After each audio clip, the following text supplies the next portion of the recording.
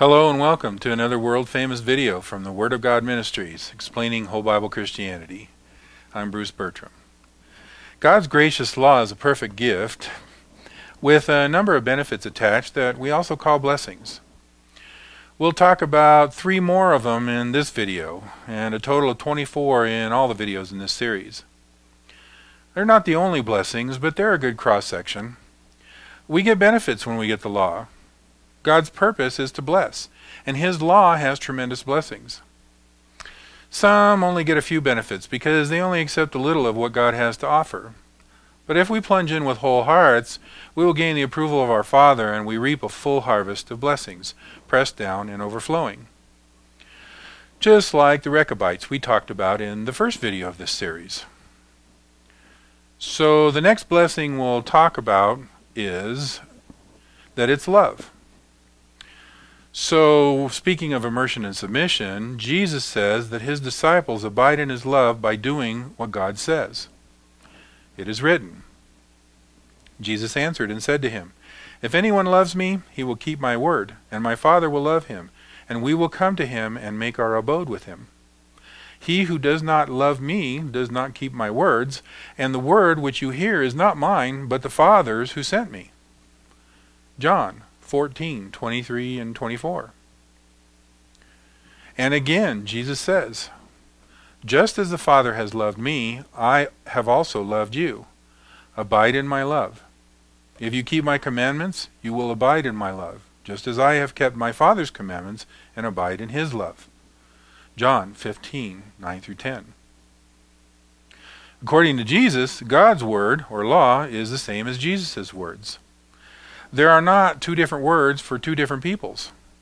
The words we hear from Jesus are the Father's words, and Jesus speaks what God tells him to speak.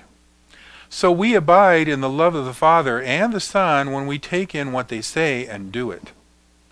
Love is the aim of everything a believer does. As we do what he says, he makes his abode, or abides, with us, and we abide in love with each other. It is written, I was very glad to find some of your children walking in truth, just as we have received commandment to do from the Father.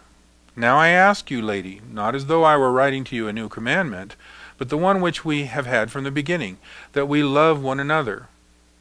And this is love, that we walk according to his commandments. This is the commandment, just as you have heard from the beginning, that you should walk in it. 2 John 4 through 6. The beginning that James speaks of is not the alleged beginning of the church, but the beginning in the garden. His commandments are not some abbreviated or changed version of the law, but the eternal law itself. God's love, excuse me, God's law to love one another has always been around. It just hasn't always been followed. The message has always been walk in it. Remember that when Jesus says to eat his body and drink his blood, John 6, 50 through 58, he is saying that hearing and doing is like partaking of him. Each time we obey a command, we make another connection to God and to each other. The more we obey, the more we abide. It is like the food we eat distributed to every cell in our body, keeping our life going. The more we bring in what he says to daily living, the more it helps us take every thought captive. It is written. For though we walk in the flesh, we do not war according to the flesh. For the weapons of our warfare are not of the flesh, but divinely powerful for the destruction of fortresses. We are destroying speculations and every lofty thing raised up against the knowledge of God, and we are taking every thought captive to the obedience of Christ. 2 Corinthians 10 3 through 5. It doesn't matter if the Testament is old or new. There is an implied obligation, not from fear, but from love. It is not lip service, nor is there a take it or leave it option. God's child is obliged to follow God's word in their completeness because God gives us so much love. It is reasonable to love God back by giving him obedience with all of our heart, mind, or soul, and strength. In view of his love and sacrifice for us, it doesn't make any sense to ask, Do I have to follow the law? as the apostle has written, Little children, let us not love with word or with tongue, but in deed and truth. We will know by this that we are of the truth, and will assure our heart before him, in whatever our heart condemns us. For God is greater than our heart, and knows all things. Beloved, if our heart does not condemn us, we have confidence before God, and whatever we ask we receive from him because we keep his commandments, and do the things that are pleasing in his sight. This is his commandment that we believe in the name of his Son Jesus Christ and love one another, just as he commanded us. The one who keeps his commandments abides in him, and he in him. We know by this that he abides in us, by the Spirit whom he has given us. 1 John 3 18 through 24. The next blessing up to talk about is that the law is worship. And this is a good place to talk about the blessing of worship. If you look in the Word, Gee, what a concept. Worship is generally spoken of in connection with doing what God says. Worship, obedience, and blessing go hand in hand with humility and truth. It is written, But an hour is coming, and now is, when the true worshippers will worship the Father in spirit and truth. For such people the Father seeks to be his worshippers. God is spirit, and those who worship him must worship in spirit and truth. John 4 23 through 24. And again, Jesus answered him, It is written, You shall worship the Lord your God and serve him only. Luke 4 8.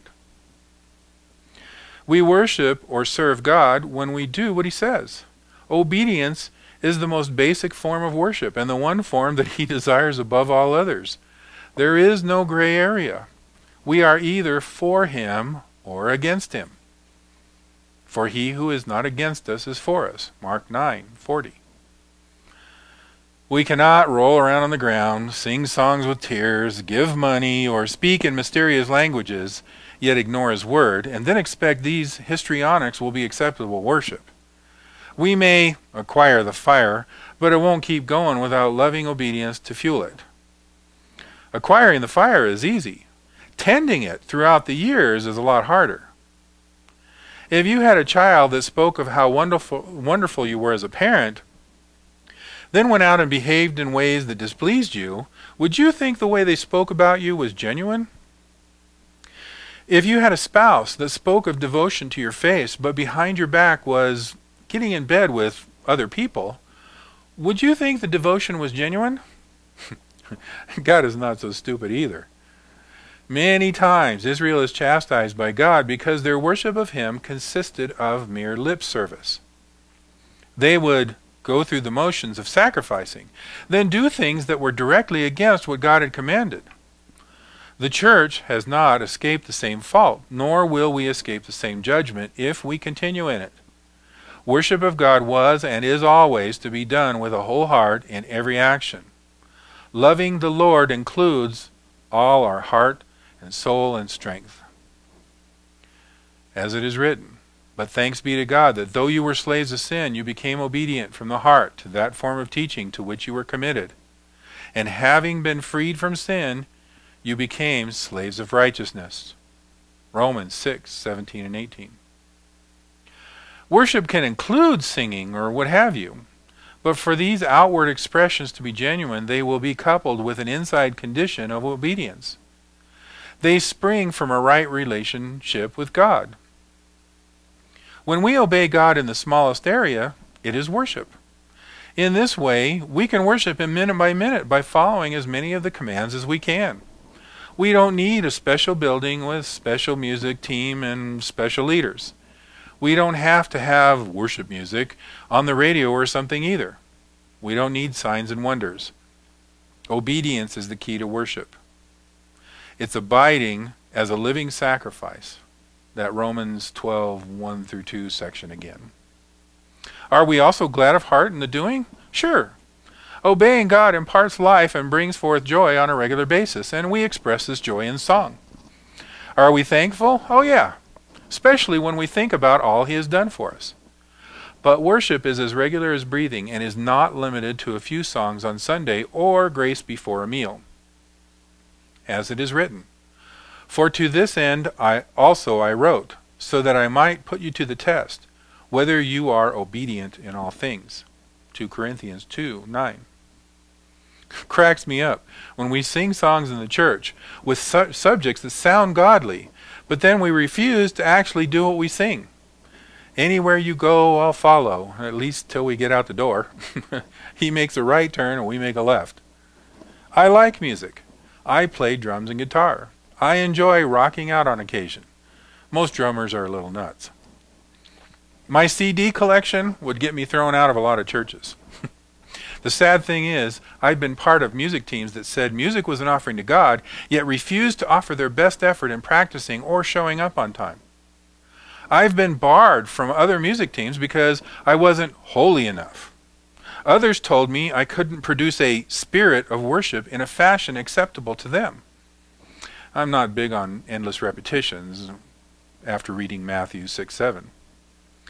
I've been hammered for playing secular music, whatever that means, and rejected for playing and not playing hymns. As a matter of fact, my perspective is that there is a lot of ungodliness in the music programs of most of the visible church. It's amazing that any part of it comes together in such a way as to please God at all, much less make it acceptable to Him as worship. It might please the people who are doing it, but I wouldn't expect it to please God not any more than sacrifices mixed with iniquity, Isaiah 1 10 through 17. Worshipping God is constant, and sometimes we sing too. The next blessing is that the law trains our hearing. The more we follow the written form of God's ways, the better we can hear when He speaks to us outside of the Word. In other words, if we don't pay attention to what He already said, how would we hear it if he told us something additional? For instance, if we ignore his word on what we eat, how would we hear his response when we prayed for healing? He is our physician and healer, and he gives us preventative medicine in his law. He doesn't always answer our prayers with miraculous cures. Sometimes he just has to tell us to stop being stupid about what we stick in our mouths. If we don't listen to his prescription, we'll just keep getting sick. Some preach the opposite eat whatever we feel like, then pray for a miracle when we get sick. If it doesn't work, then it must be your fault. You don't have enough of some mystical ingredient they call faith. Well, duh. But the reason the faith isn't working is that we are ignoring the obedience part in the first place. Our hearing gets sharper when we practice listening to His written word. We have to develop the spiritual hearing muscles of humility and obedience. We get used to the sound of his voice from the word, so we can automatically distinguish his voice from all the other chatter around us. Just like a young child can tell the difference between mom's voice and others in a crowded room. When God speaks directly to us, the character of what he says will match the character of his written word, and we pick it up by association. The law trains us in righteousness so that rightness always stands out for us no matter where we see it or hear it. Besides, what is the big deal with doing what our Father says, even in minor details? A few holidays, what we eat, and some clothing choices don't seem like all that huge of an issue, do they? No, they aren't. What does make a big difference, however, is our attitude about God's Word. Either it is all important or none of it is. We can't get all mystical about Christ lives in us, then ignore the things that he commanded us, at least not and have an effective walk with him. If we keep making excuse after excuse after excuse after excuse to dodge his word, we will miss out on life and that more abundantly. We'll also continue to present a hypocritical and cracked up picture of our Father to others we end up driving the rest of the world away from what they desperately need also. Doesn't dad, the father, have a right or a father, fatherly responsibility to tell us what is right and wrong, what is good and bad, what is clean and unclean? That's what I do with my kids. How else should our father deal with his children? Birth them into new creations and leave them by the side of the road? Give them a few vague instructions like love your God and neighbor and then let them go off by themselves? It Doesn't make any sense at all. We don't treat our own kids like that. God loves us and provides guidance for growing and strengthening the life that He gives us. We can love Him back by adoring every word He speaks and striving to put it everywhere in our lives that it belongs. Isn't it wonderful that we have something like His law to tell us where the boundaries are, where we should go and where we shouldn't go? So we don't go wandering off into the wilderness or off a cliff like so many people do. God never intends for his people to stand in one place once we gain right standing with him. he wants us to move. The beginning of our movement should be in taking on all of his ways as spelled out in his law. It is the best discipleship system ever designed and is guaranteed to produce fruit that is pleasing to God. The Holy Spirit uses it to tutor us in the way we should go, and when we get all grown up, still functions to guard and protect. His Word is the foundation on which we can build a house that honors Him in every area. His law is love in action, and through it we learn how to love Him and how to love others as well. As we obey each command, we touch our Lord and Master and friend, and He touches us. From this flows worship, thanksgiving, praise, and testimony to His provision and blessed love. It is no big deal to incorporate all of God's requirements for holy living because He doesn't ask very much of us. As our Father, of course, He's not going to leave us hanging after making us new creations. He shepherds us with tender, loving care, making boundaries and warning us away from dangerous situations. Thank you for watching. We've got more videos and a website at www.wholebible.com with a draft of our book, Whole Bible Christianity. Subscribe to our channel, please, and register on our blog for continued conversation. Or give us some comments, constructive comments, please, below. Shalom.